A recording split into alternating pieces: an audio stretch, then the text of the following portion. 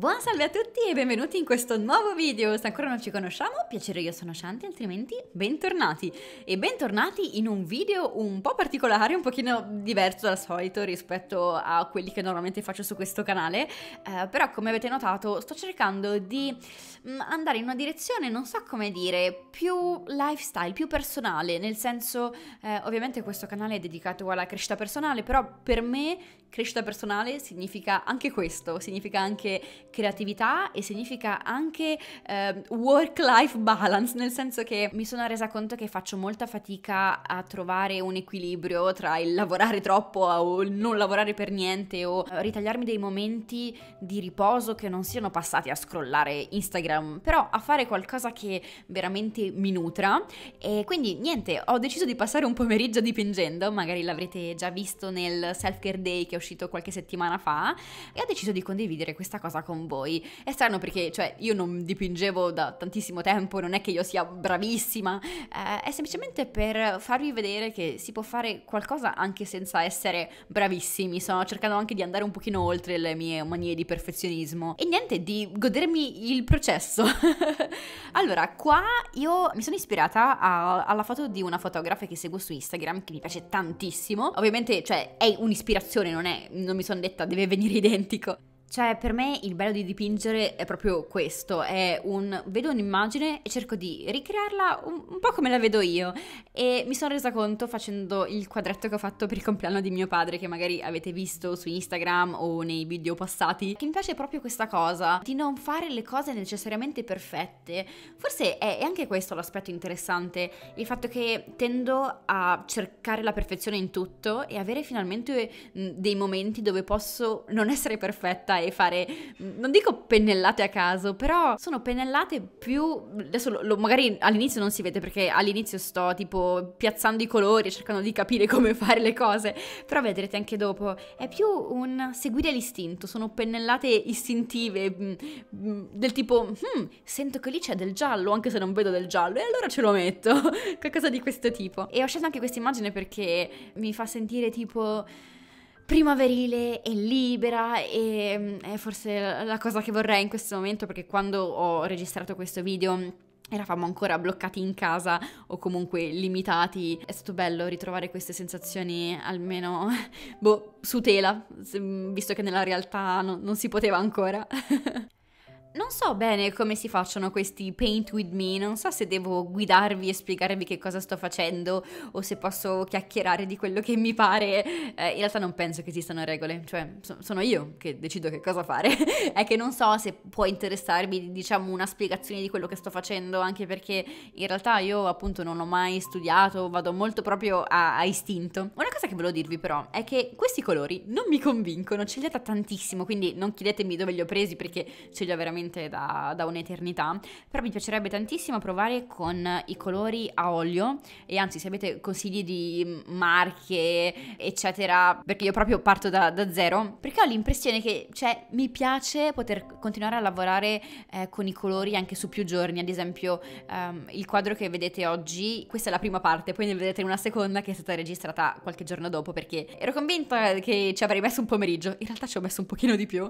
E mi piace l'idea di poter lavorare giocare con i colori su più giorni e so che i colori a olio, cioè puoi continuare a rimestarli quanto vuoi, sono molto più coprenti, sono più luminosi, cioè mi, mi ci vedo di più a lavorare con l'olio, non lo so, anche se non saprei proprio da che parte partire, quali sono anche tutti i materiali da usare, perché so che è molto diverso uh, e che quelli di qualità tipo puzzano, quindi sarà felice Alberto di avere dei colori ad olio in casa. Comunque, come vedete, appunto, il primo giorno ho semplicemente piazzato i colori, poi cominciavo a farmi un pochino un'idea delle ombre, delle forme, però anche qua, cioè, senza perfezione, semplicemente ho buttato giù, ho cercato di creare una base su cui poi ho lavorato in modo un pochino più preciso poi. E mi divertiva proprio questa cosa di dire, sai cosa, anche se voglio mettere un colore che nell'immagine originale non c'è, posso farlo.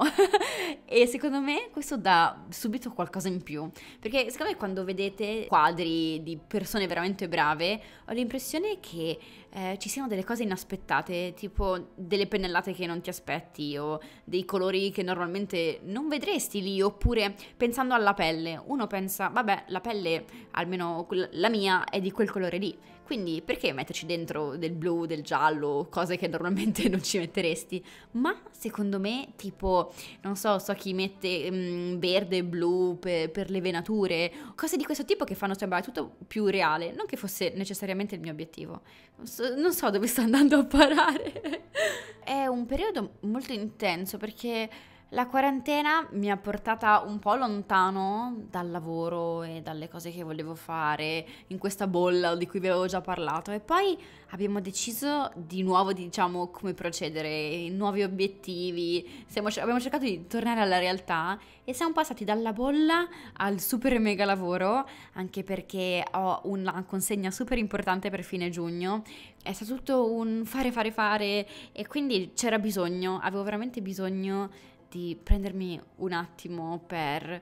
Cioè il, bello di stare in balcone a dipingere è proprio che non hai nient'altro a cui pensare se non l'immagine che hai davanti e trovo che sia una forma di meditazione perché in qualche modo smetti anche di pensare. Io non mi ricordo di aver pensato cose particolari mentre dipingevo, ero talmente concentrata sui colori da mettere, eccetera, che era proprio uno stato di quiete e quindi se non, non so, vorreste meditare ma non ci riuscite, provate a, a dipingere, secondo me potrebbe essere un ottimo inizio.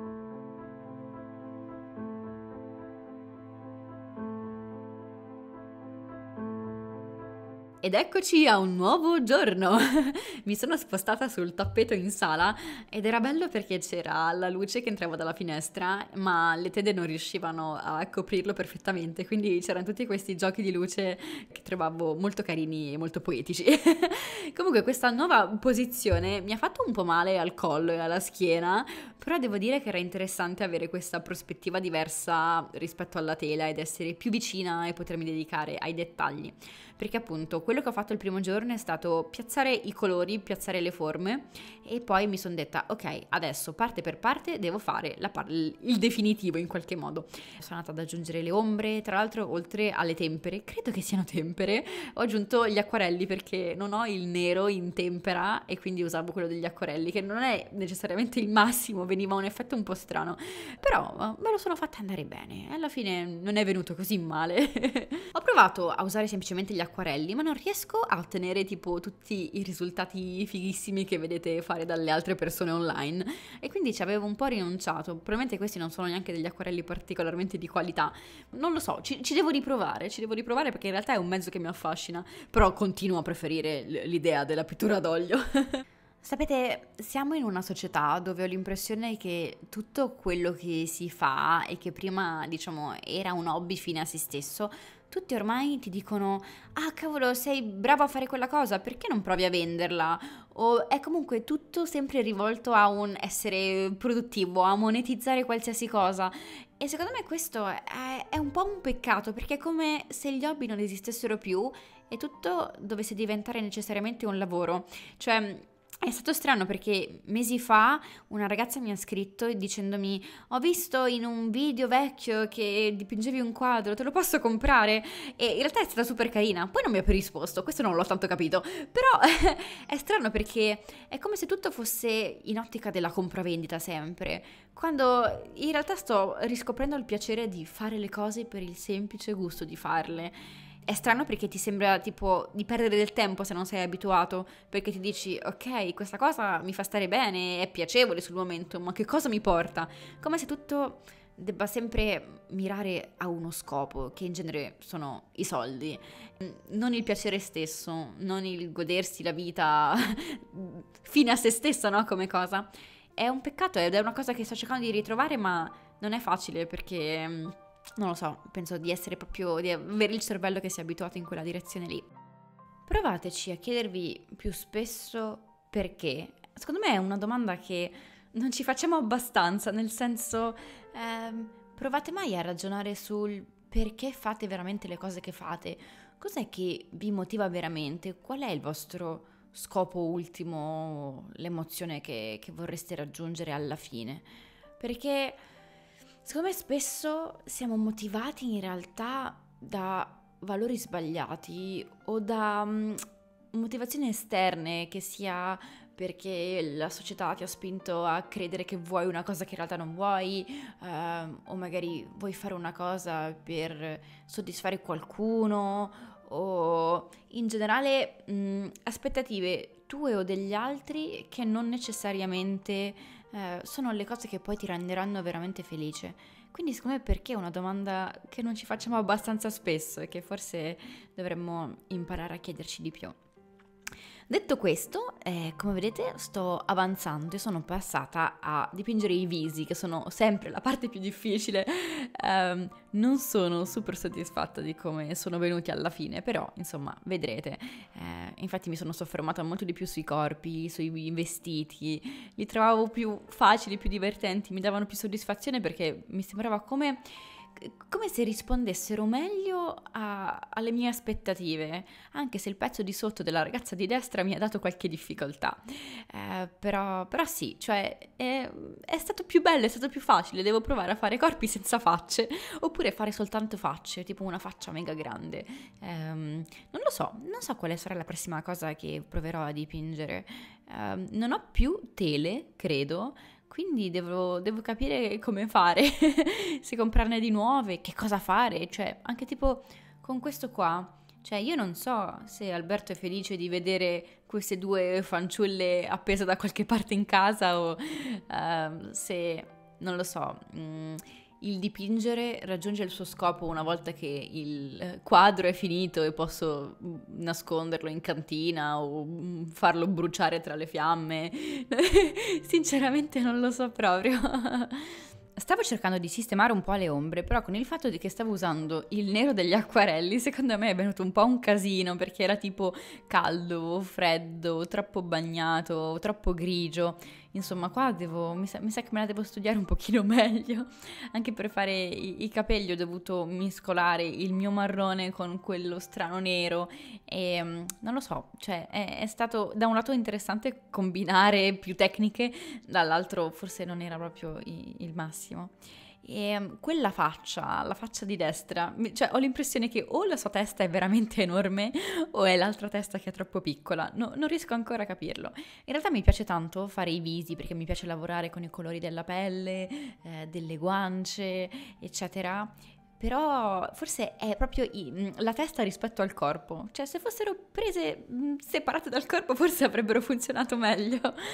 E, um, sto aggiungendo niente, tanti piccoli dettagli, eh, dicono che, che, si capisca quando un quadro è, è, finito, perché lo guardi e non senti di dover aggiungere più nulla. In realtà io continuavo a voler aggiungere cose e quindi sono passata alla parte finale che è quella del verde e dei fiori, che purtroppo è quella che in realtà eh, mi è piaciuta meno, cioè i fiori tenuti in mano dalle due ragazze sì, però la parte sotto ehm, ho l'impressione che è stata fatta un po' boh, non, non sembra veramente dell'erba o... Mm, non, non, lo so, c'è qualcosa che, che non mi ha convinta. Eh, ho quasi avuto l'impressione di aver rovinato un po' tutto. Comunque, questo è il risultato finito. Non mi piace tantissimo la faccia della ragazza a destra perché secondo me è venuta troppo grande ehm, e quella a sinistra non è perfetta, però mi piace di più la sua espressione, sembra così in pace, un po' la invidio.